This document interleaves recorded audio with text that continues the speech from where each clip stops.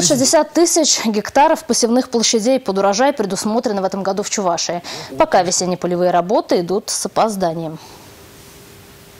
В этом году аграрии на весенне-полевые работы вышли значительно позже, чем за последние пять лет. Весна не спешила вступать в свои права, и в апреле было холоднее, чем обычно в это время. Если в прошлом году к подкормке озимых приступили в середине марта, в этом на две недели позже. Сейчас в 16 муниципальных районах проводится подкормка многолетних трав, в 20 – барынование. Яровой сев планируется провести на площади более 300 тысяч гектаров. К посадке картофеля приступили в пяти муниципальных районах посажено 44 гектара. В прошлом году в это время было посажено на площади 152 гектара.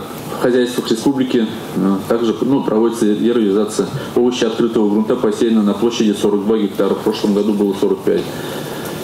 Целом синоптики обещают погоду, соответствующую климатической норме. И если погода не подведет, весенний сев в республике должен завершиться в течение 15-17 дней. Семенами яровых, зерновых и зернобобовых культур регион обеспечен в полном объеме. Татьяна Трофимова, Игорь Зверев, Республика.